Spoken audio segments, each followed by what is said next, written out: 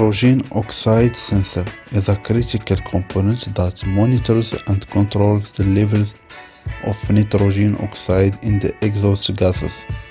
Its primary function is to contribute to emission control, ensuring compliance with environmental regulation. Operating within a closed-loop control system, the NOx sensor provides real-time feedback to the engine control unit, allowing for the optimization of the air-fuel mixture and combustion process.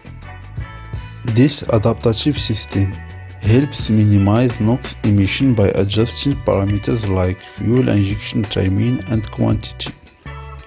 The NOx sensor works in tandem with emission control technologies such as selective catalytic reduction